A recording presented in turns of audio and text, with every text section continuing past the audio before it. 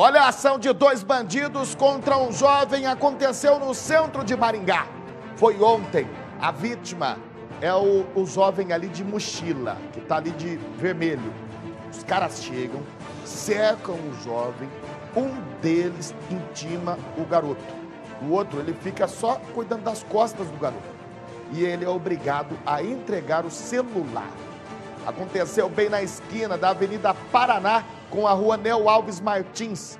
Se alguém tiver alguma informação de quem que é esse ladrão, esse vagabundo aí, ó, ligue para a polícia, denuncie no 190 ou no 181.